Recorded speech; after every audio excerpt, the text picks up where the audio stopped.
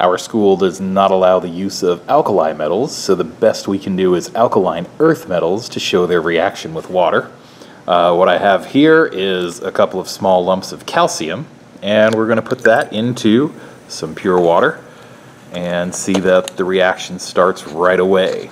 If this had been powdered calcium, the reaction is much more vigorous. It's giving off uh, both hydrogen gas and a decent amount of heat. If we were to put a thermometer in here, you would see that the temperature of the water would be gradually increasing.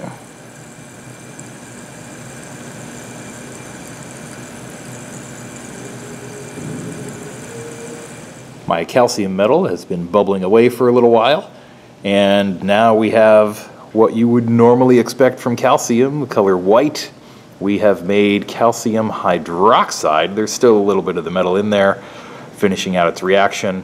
What's also notable is that if you touch the beaker, you can tell that the temperature has gone up. It feels sort of like warm bath water now. And that's a result of the energy released when the calcium hydroxide bonds were formed.